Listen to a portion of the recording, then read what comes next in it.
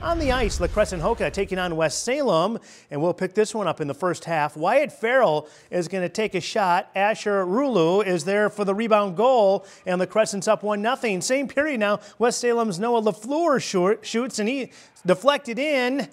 Jack Sandvik would put it in, and the Panthers scored three goals in the third period. They come out on top, 5 2 the final.